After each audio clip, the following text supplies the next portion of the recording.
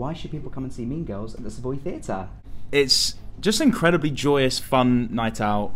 It's everything you loved about the film, but with loads of new additions you're going to love even more. As you say, it's the best night out in town. Come along, you'll have the best time because we have so much fun doing it. Because you'll have the time of your life. I mean, if you like fun, come to Mean Girls. Yeah, That's it. Do it. Because Mean Girls and the Savoy Theatre is the place to be. It's the ultimate night out, so come watch us. Whoever you are, wherever you come from, whatever age you are, you will enjoy this show. There is something for everybody in it.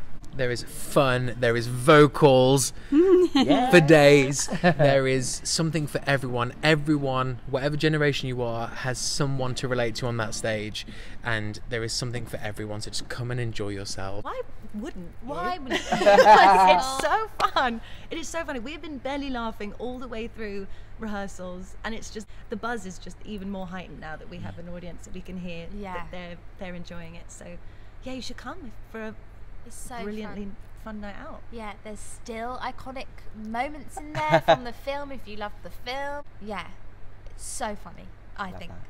And a sexy mouse too, right, Grace? Oh yeah, party! Come to my Halloween party. See you there. Be sexy, dress sexy. yeah, dress sexy. Otherwise Wear it's pink. slut shaming.